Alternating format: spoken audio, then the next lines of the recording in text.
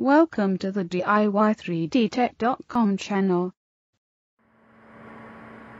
Welcome to this edition of DIY3DTech.com. In this episode, we're going to take a look at this. What is this, you might ask?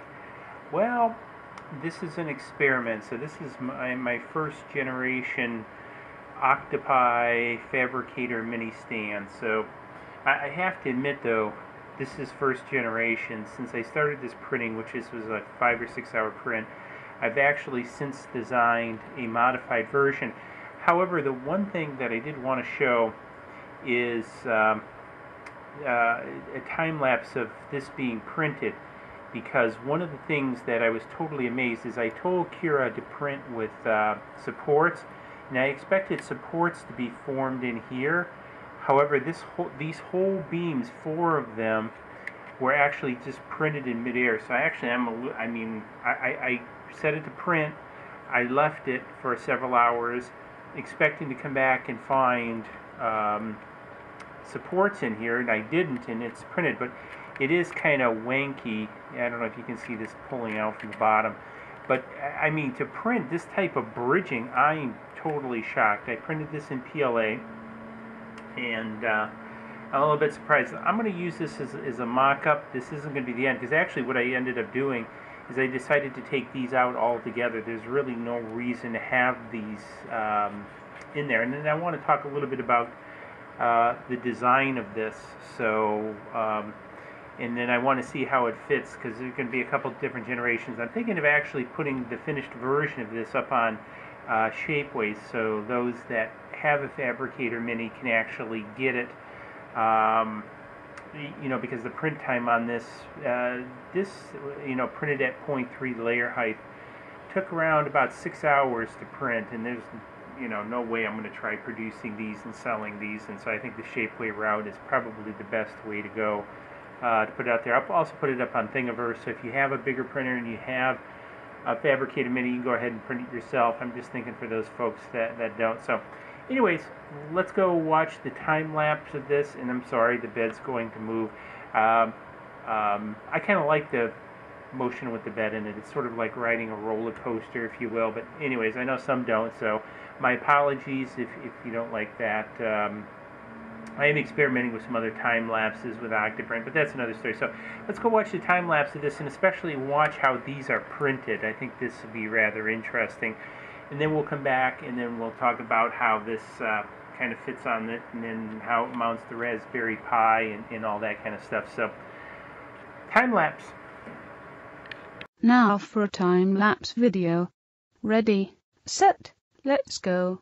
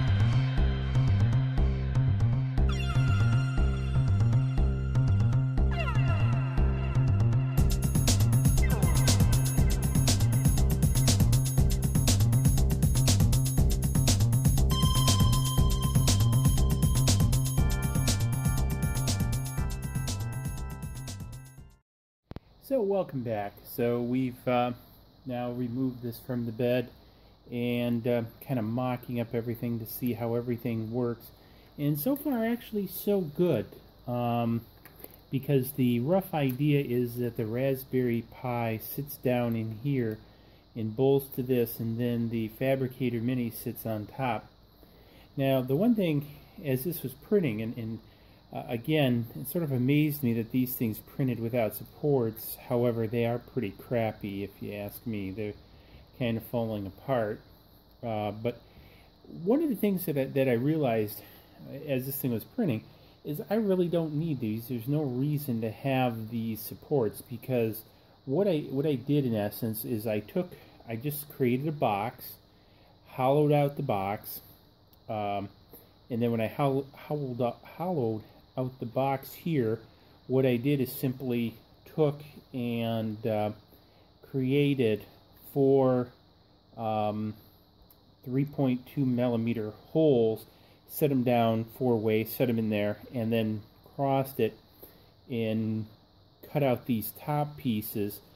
And then what I did is I cut holes in the side for this, and then when I got printing, I'm thinking, why do I really need the holes? If I have enough beef on these bottom supports and everything, I mean, this isn't very heavy.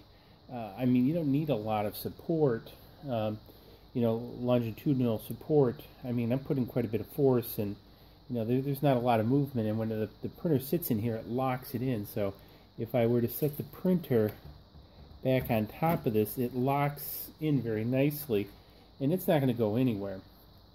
And so there's enough stanchion support here to hold it. So in, in the next version I, that, that's printing right now, I knocked these out totally um, and did away with it. And I think that'll be just fine. I'm printing it out, also the other one out of clear PETG. The other piece I did is I put rounded uh, pads on the outside here and uh, on the sides and I did it rather than the corner I did one I, I started a version in the corner and I actually stopped the printing of it because it's not going to tip on the corner it's going to tip going forward and you can kind of see well it's kind of sticky on the bottom however that provides enough enough um, lateral resistance to stop it from tipping forward, backwards, or sideways because it's not going to tip on an angle. So having more of the pad here uh, works out better. And then, then what I did is I just took uh, Raspberry Pi pad and put it in the middle and put four struts. I think you can see in there to hold it. So uh, wasn't a big deal. And then I can just use screws to mount the Raspberry Pi. Since this is this was just a test, I'm not going to mount it. And then you can see it, it uh, the stuff faces out the back, so the wires face out the back so I can run power in the sides and whatever cables through the holes in the side. So anyways, this was my first uh, attempt at sort of an OctoPi stand, if you will. So I looked at a couple different ways of doing it. I don't don't think the heat's going to be a problem, uh, especially once these sides are removed, because there's such, such openness here, and there's a pretty good separation and flow of air. Um, you know, because on, on the regular stand uh, that I printed out that, that Chuck Hellebuyck came up with, I, I, mean, I didn't have any issues with that at all. Um, and this was printed for hours. It gets a little warm, but I haven't haven't had a problem, so I'm not overly concerned. Now, I am going to order the heat sinks for this from Amazon and put the heat sinks on here just to, because they look cool and everything, and just, you know, it's a nice addition. However, I think it'll be it'll work out pretty neat. Now, on the other version too, I did put mounting holes through these four feet. So, because what I may do is actually fabricate some sort of acrylic base, uh, either on the laser cutter or the CNC, and, and attach that base to this stand, you know, to further, you know, give it a, you know, a larger surface area and make it neater. Because one of the things I might do is actually incorporate a a spool stand in in that overall design or something just to make it cool because I want to have it a little bit portable so I could take it places and show it off and and that kind of stuff because I think just uh, it's, it's really cool and especially being clear you know you can kind of see inside and it's a little bit different than you know of course you know like with my um, uh, Wanhao you can see inside it too but this just really looks cool the way it's structurally built that the structure is containing it and the stages are clear and so really cool. I am I am even though I'm still envious of Angus over at Maker's Muse for the orange one, um, you know, Chuck's piece of having the clear, I think, was was good guidance to follow because, uh, again, it makes it very easy to see things inside, and it's sort of intriguing when I have this printing on my desk and people look at it and go, "Wow, that's that's pretty cool." And so, anyways, um, watch for the next video. I'll be putting out another video on the, the the second version of this. I'll also be throwing the second version up on Thingiverse. I'm not going to throw this one up on Thingiverse. Um, it's a good prototype, but that's all it is. Uh, so again, give it a thumbs up if you like this video. Um, also subscribe to the channel. A lot more coming on this. Um, in a couple weeks, I'll do uh, some more OctoPrint videos, uh, some intermediate uh, ones I'm going to jump to. Um, how to set some things up and that. Really having a lot, a lot of fun with the OctoPrint, more, more fun than I thought I would. So been having a good time. So if you have any questions about OctoPrint or this design or future stuff, hey, just let me know in the comments below. I'll respond and if you have a specific request or want to see something, also let me know down there. Otherwise that, cheers and see you in the next video. Please click like below and subscribe to the channel to keep up to date on all of our projects.